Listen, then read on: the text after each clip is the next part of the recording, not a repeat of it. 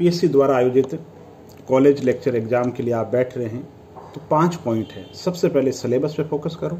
पिछले सालों के जो प्रश्न पत्र है, उनका ट्रेंड एनालिसिस ज़रूर देखो कि कहाँ से क्या पूछा जा रहा है, और बेसिक को बहुत ज़्यादा मज़बूत करो। छोटी सी गलती नहीं होनी चाहिए।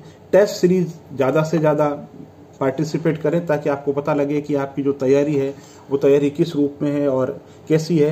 और जो अनिवार्य प्रश्न पत्र है, उसमें को बिल्कुल इग्नोर ना करें, वो बहुत ही लीडिंग होने वाला है क्योंकि वैकल्पिक विषय पर लगभग सबकी पकड़ है। और इसके साथ ही कॉलेज लेक्चर की आप तैयारी कर रहे हो तो आप ये भी देखो कि आज तक राजस्थान लोक सेवा आयोग द्वारा फ़र्स्ट ग्रेड में क्या सवाल पूछे गए हैं और सवाल रिपीट बहुत ज़्यादा होते हैं। इसलिए ट्रेंड एनालिस्ट को और सिलेबस के अकॉर्डिंग बेसिक चीज़ों पे अच्छी पकड़ बनाओ।